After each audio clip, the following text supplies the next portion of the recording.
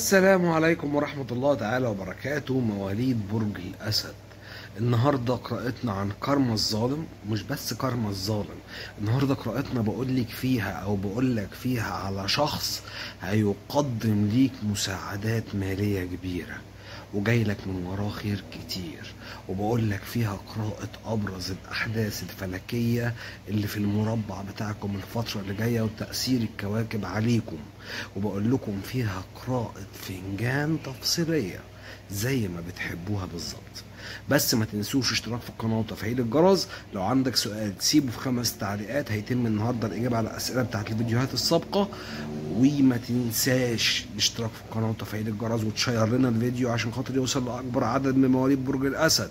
وخلينا نبدأ الفيديو بدون مقدمات كتير ونقول بسم الله الرحمن الرحيم. نبدأ بقى الفيديو بشكل مباشر مع توقعات التاروت لبرج الأسد خلال المرحلة القادمة أبرز توقعات التاروت والأوركل والفنجان. كارما الظالم وهنشوف مجموعات المراية التفصيلية وهنشوف كارما الظالم هنشوف مشاعر الحبيب هنشوف قراءة بكل ما تحمله معنى الكلمة. تفصيلية لمواليد برج الأسد بس كل اللي برجوه منكم إن لو أنت لسه جديد معانا في القناة تشترك وبرجو منك إنك أنت تشوف الفيديو من أول دقيقة لآخر دقيقة لأني بقول كلام مهم في النص. والنهاردة هقول لكم على أحداث فلكية مهمة جدا ليكم. خلينا نبدأ. بسم الله الرحمن الرحيم. 6 of sword مواليد برج الأسد نقدر نقول إن خلال المرحلة دي بيكون عندكم نوعا ما من القوة الأعلى. شايف إن كنتوا بتتواجهوا بس أنتوا قوتكم أعلى من الأشخاص اللي بيواجهوكم. زي ما تقولوا كده معاكم الحق ومعاكم القوة لإثبات الحق ده. شايف هنا page of wand الكارت اللي بيدل يا مواليد برج الأسد إن الفترة اللي جاية هتكون فترة تحقيق أهدافكم وتحقيق أمالكم اللي بتسعوا ليها وتحقيق كل شيء بتتمنوه. ال seven هنا بتدل على الحيرة اللي أنتوا بتمروا بيها. شايف إن أنتوا بتمروا بحيرة صعبة جدا مش عارفين تتخذوا القرار. بتفكروا ومحتارين ومش عارفين تتصرفوا إزاي. وشايف هنا five of wand الكارت اللي بيدل على إن في أشخاص عندكم بيطالبوا بحاجة مش مش بتاعتهم. في أشخاص عندكم بيطالبوا بحق مش حقهم. في أشخاص عندكم بيعملوا لكم مشكلة وإزعاج بسبب حاجة هم اللي جايين عليكم فيها. كارت الشمس اللي هيظهر بعد كارت الشمس هو اللي هيحدد معانا بدايتك الجديدة هيكون فيها إيه. وظهر بعد كارت الشمس page pentacle أو صفحة العملات. الكارت اللي بيدل على إن الفترة القادمة عندكم هي فترة مالية. هي فترة إنجازات على الصعيد المالي أو فترة شفاء temperance على الصعيد المالي. شفاء بتمروا بيه على الصعيد المالي. شايف 7 of sword عندكم تحدي صعب قوي. مع عدو بيكرهكم جدا والعدو ده مش سهل بس هيكون في معاكم ناس بتدعمكم وبتقف جنبكم لمواجهة الشخص ده. شايف queen of cups الكارت اللي بيدل على إن في نوع ما من الاستقرار في حياتكم خلال المرحلة دي على صعيد تحقيق الإنجازات. وشايف كأنكم أصبحتم مميزين أصبح أسلوبكم ساحر أصبحت شخصيتكم قوية أصبح عندكم براعة أكتر في العمل. شايف two of pentacle إن كنتوا بالكاد دلوقتي بتسعوا لتحقيق التوازن على الصعيد المالي أو تأمين نفسكم ماليا من أجل مسؤوليتكم. وشايف هنا five of cups الكارت اللي بيدل على إن الفترة اللي جاية هتكون فترة بيقدم فيها ليكم الشريك احترام كبير جدا جدا لكل المواقف اللي أنتوا بتعملوها دلوقتي. ace of cups شايف إن في عرض مميز هيتقدم ليكوا أو في حد هيدعمكوا الحد ده أنتوا ما كنتوش متوقعين منه إنه يقدم دعم ليكوا ولكن الشخص ده هيدعمكوا. شايف ace of pentacle إن هيكون في تحقيق مبلغ كبير قوي أو دعم مالي كبير قوي من الشخص ده. شايف the wheel of fortune إن تغيير عجلة الحظ عندكم يا مواليد برج الأسد؟ الفترة اللي جاية بيتجه نحو الحكمة من قبل الشريك أو الحكمة العاطفية في العلاقة اللي بتسيطر عليها وبتحطها في النطاق الآمن وبتبعدها عن نطاق المشاكل.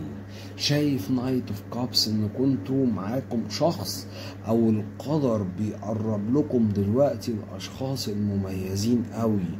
أو بمعنى أصح يا مواليد برج الأسد الأشخاص التقال. لو أنت ست هترتبطي براجل غني. لو انت رجل هترتبط بواحدة جيدة مستواها المالي جيد. شايف ان كلكم بترتبطوا بناس أغنياء أو مستواهم المالي مستقر. أو حتى لو مش ارتباط وبتصححوا أو بتصلحوا علاقات مع ابن أو حاجة زي كده ابنكم ده هيكون عنده مستوى المالي كبير.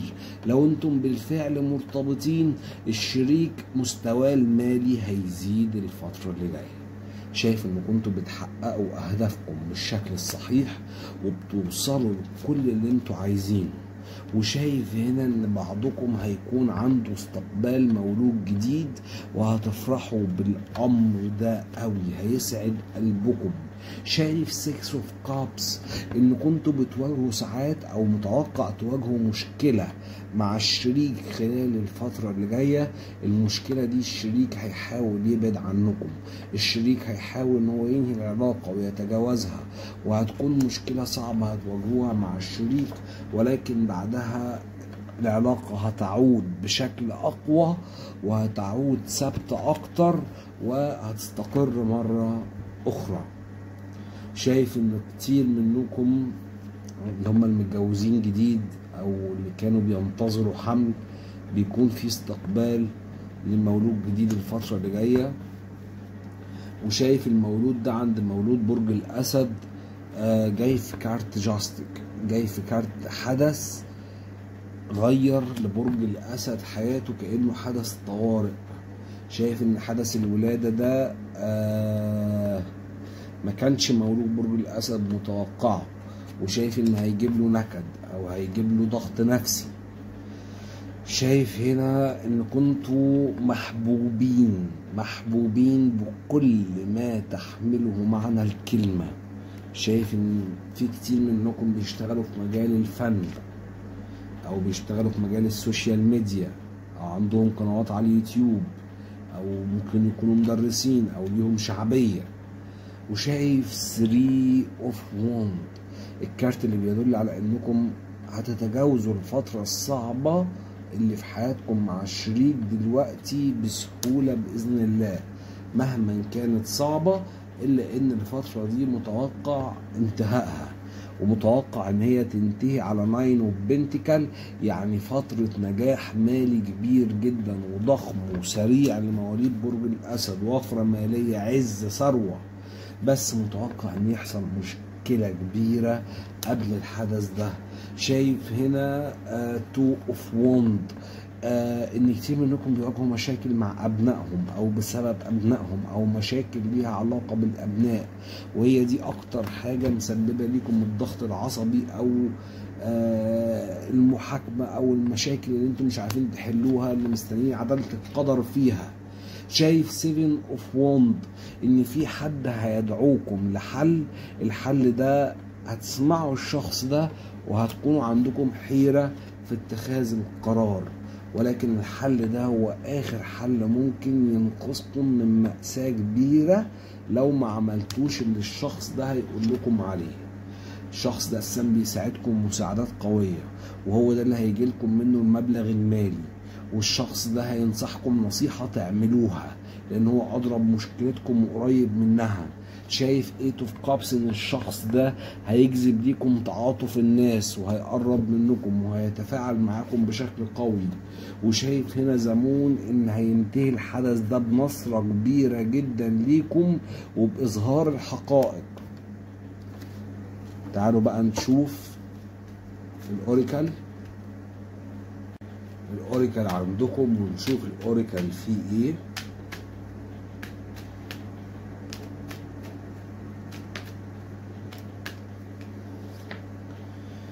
الاوريكل شايف إن كنتوا ليكوا جاذبية كبيرة جدا ليكم سحر منفرد ليكم تأثير خاص بتأثروا في قلوب اللي حواليكم بطريقة جميلة. وتحديدا في أماكن الاحتفالات أو الأماكن اللي بيكون فيها موسيقى احتفال بنجاح حفلات نجاحات نوادي بيكون لكم تأثير كبير قوي وجاذبية خاصة في الأماكن دي.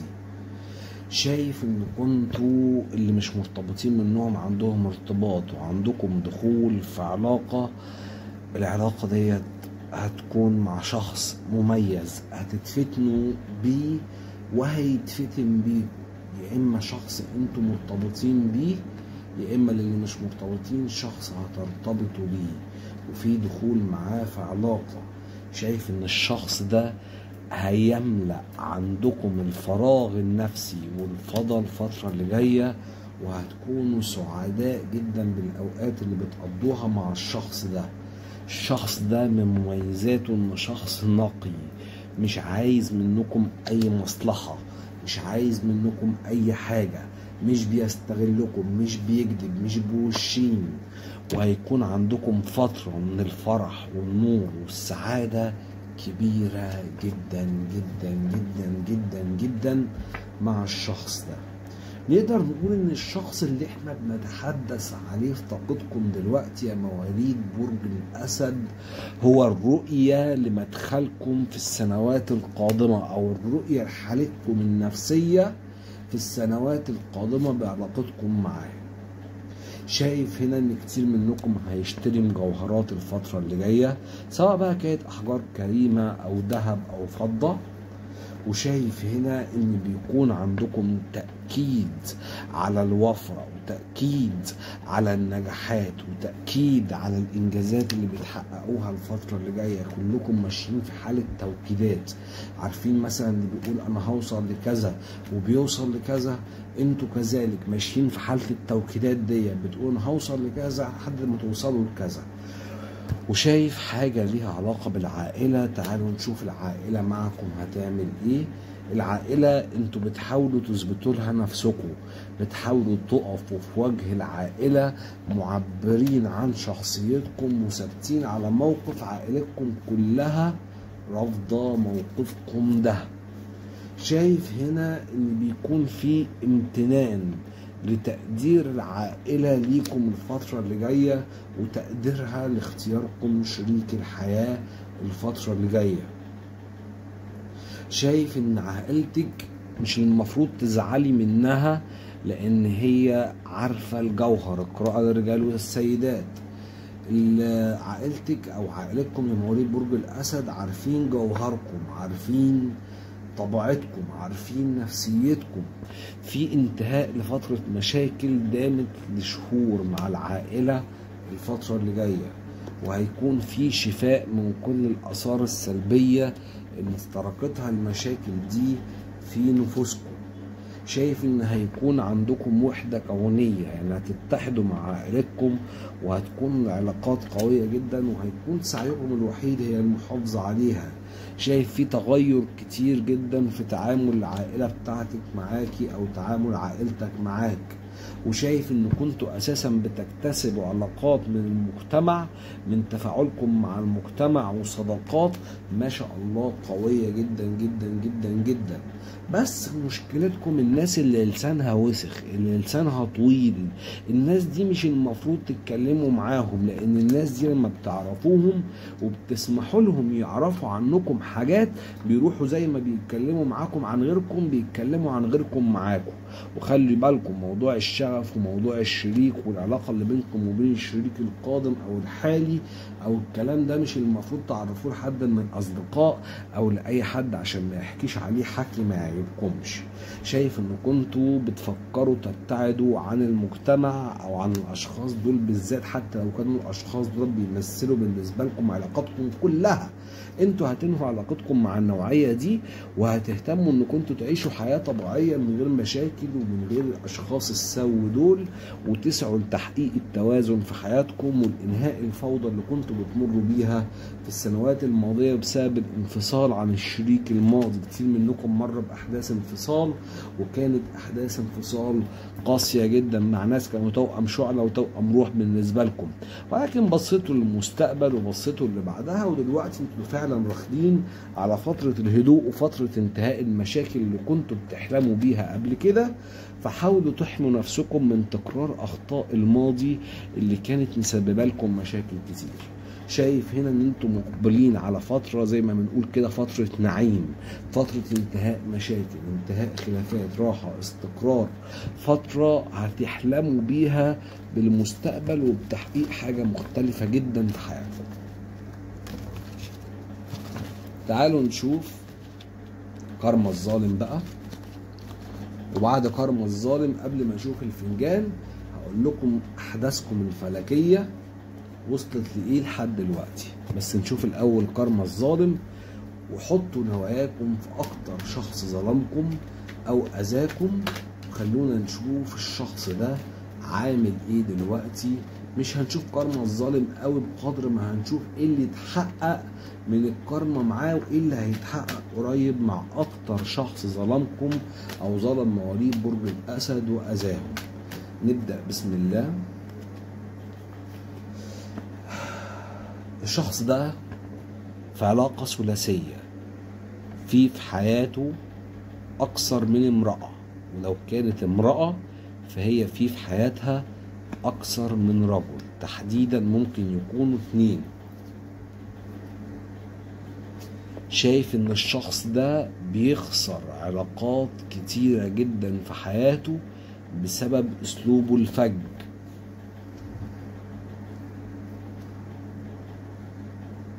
وشايف إن في في حياته واحدة من الاتنين دول تكاد تكون ساحرة تكاد تكون بتتلاعب بيه تكاد تكون بتخرب له حياته.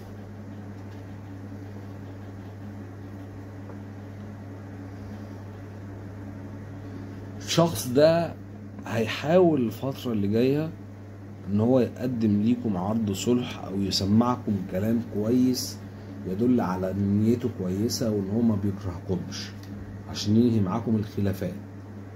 لو ليكم عند الشخص ده فلوس هتاخدوها منه. شايف استرداد أموال من الشخص ده. الشخص ده هيكون عنده زواج بواحدة سيئة. أو لو كان رجل أو لو كانت امرأة فهيكون عندها زواج بشخص سيء جدا. هتكون علاقة فيها تعلق شديد وفيها ألم شديد وفيها شغف شديد. وهيكون الطرف اللي هو اللي مرتبط بالشخص اللي أذاكم هيكون مؤذي جدا مع الشخص اللي أنتوا فاتحين عليه أو اللي أذاكم أو اللي في طاقة مواليد برج الأسد. شايف ان هتكون فترة تحقيق عدالة قدرية غريبة حتى إن كنتوا هتشعروا بسعادة عظمى غير منطقية.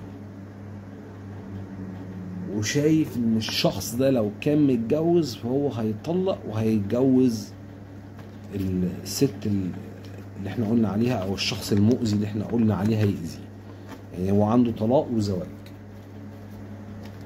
تعالوا نشوف أبرز أحداث بقى عندكم إيه الفترة اللي جاية قبل ما نشوف الخريطة الفلكية بتاعتكم نشوف أبرز أحداث عندكم إيه الفترة اللي جاية.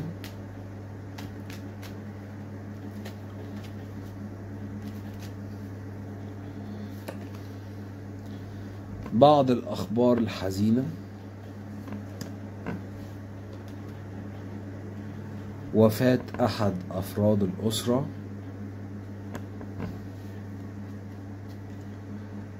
هيعترف لك إنه مش عايز يكمل العلاقة.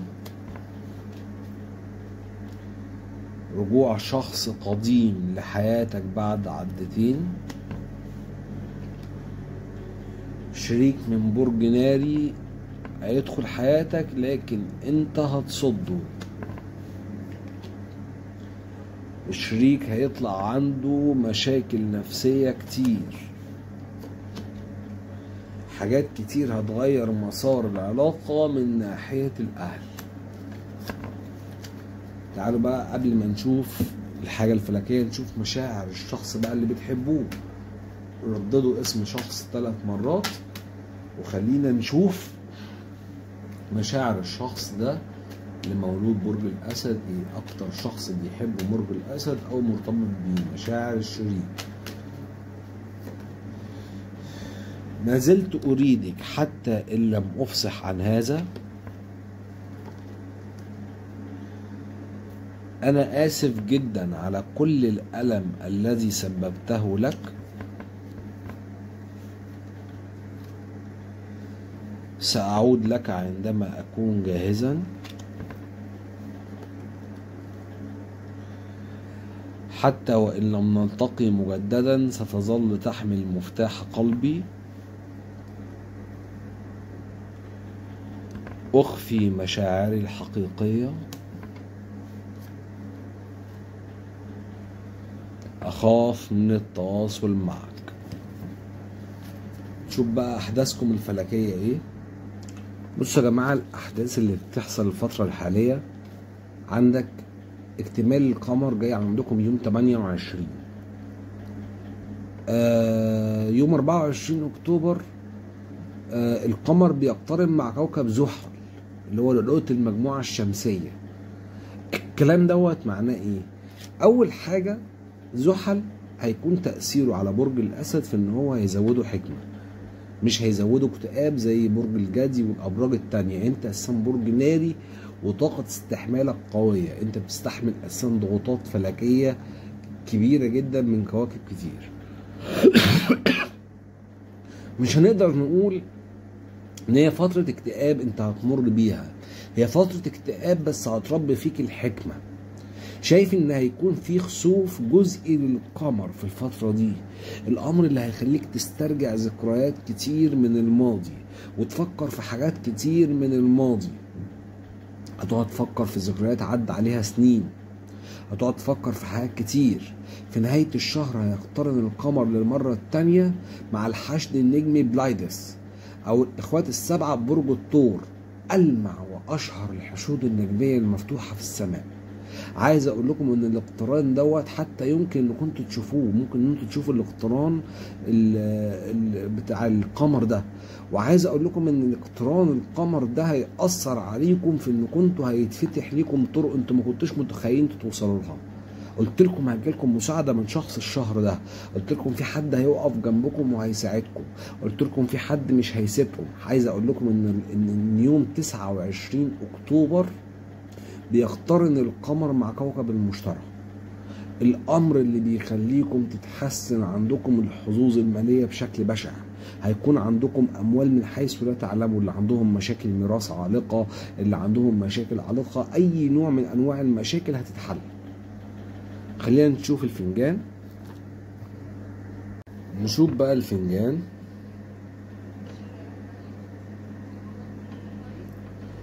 عايز أقول لكم أقسم بالله أكتر فنجان مبشر شفته في حياتي. يعني شايف الحالة النفسية عندكم هنا في الفنجان ما شاء الله جيدة جدا. شايف هنا شايفين السلحفة دي؟ سلحفة براس طويل أهي. شايف كأنكم ماشيين يعني كأنكم مراقبين هدف مراقبين القمة دي وعايزين توصلوا لها وكنتوا ماشيين ليها ببطء بقالكم سنين. هيجيلكم خبر مبشر إن كنتوا قربتوا توصلوا لهدف استنيتوه سنين كنتوا بتسعوا ليه. هيجي هيجيلكم خبر مبشر بالنسبة للهدف ده.